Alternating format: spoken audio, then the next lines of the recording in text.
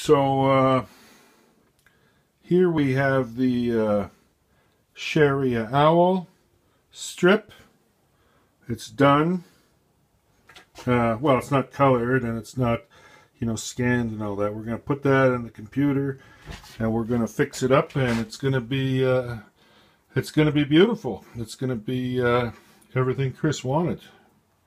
And uh, the nice thing is that uh, we get to follow the creation and the completion of a Rizzo episode entirely within the documentary. Obviously, we're not, we're not going to do this with every episode, but uh, this is a good one. It's one that might get Chris fired uh, just because of his intolerance. And uh, we'll just take it from there. I keep saying that. Take it from there. Very strange.